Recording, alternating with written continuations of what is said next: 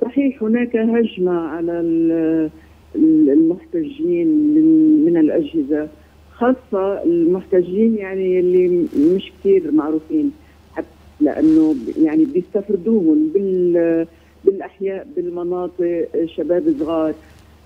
في في محاولة إمساك البلد امنيا لحتى يعني يخمدوا الثورة تماما.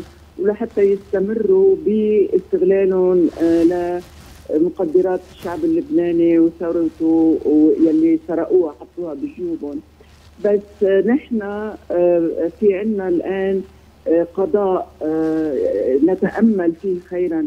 عندنا نقيب المحامين اللي هو شخص موثوق جدا من الثورة وهو بيعدوه أحد قادة الثورة. وعندنا النادي القضاة ونحن عندنا قضاة كثير نزيهين وهلأ طبعا ممكن يلاقوا دفع وعم يطال عم يطالب بحماية لهم حتى يقدروا يقوموا بمهامهم دون ضغوط ودون خوف. بهالظروف هاي في أمل مع ضغط من الشارع مع آه يعني مراقبة بتعرفي أنت آه دولية. الجيش بنفسه يبدو آه أبدى الرغبة والاستعداد ليحقق بهالحادثه خاصة بالتعذيب بالكهرباء.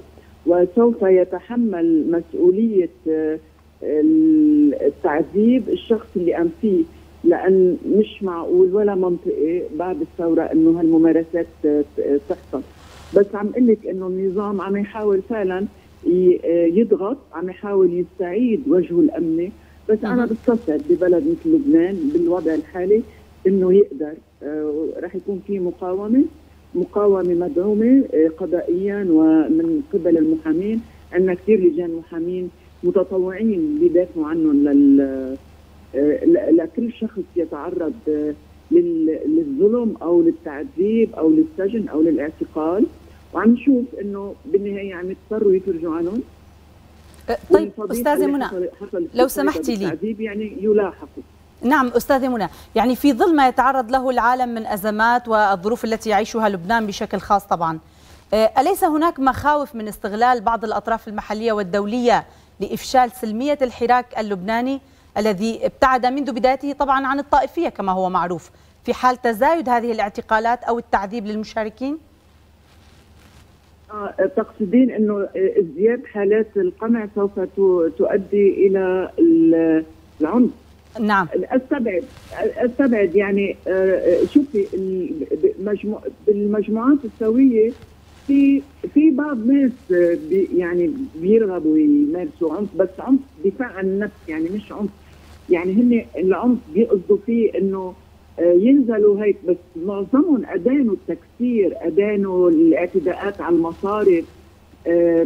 بستبعد لأنه بيعرفوا إنه جر الثوار أو المحتجين للعنف هيدا مقتل. وعندنا الأمثلة العربية بعدها يعني ماثله للعيان بس اللي بيخ... بي... أنا العنف اللي بخاف منه هو الأزمة الاقتصادية والمجاعة المنتظرة. بظل يعني وضع حكومه متردد عمل خطة غير واضحة ما لها هدف كثير واضح عبارة عن أرقام لم تجد بعد يعني الصرف لها وبالنهاية هن لو بدهم إصلاح حقيقي مش مضطرين ينتظروا خطة اقتصادية بالتالي فيهم يبلشوا يوقفوا الهدر من الآن بالتالي الارجح إنه نعم. بهالوقت الضائع رح يزداد الوضع سوءا مثل ما شايفين. عم يتلاعبوا بالدولار عم يزيدوه عم تزيد الأسعار. فإذا الخوف أنا بخاف من العنف الاجتماعي العنف اللي رح يتفلت من الناس الجوعانة يلي فعلا ما يعود عندها أي مصدر للطعام. بس مش من الثوار الثوار يعني اللي هلأ المجموعات اللي هي عم يعتدى عليها لأنها عم تقوم بتحركات على الأرض. نعم الأكاديمية والكاتبة منى فياض كنت معنا مباشرة من بيروت. شكرا جزيلا لك.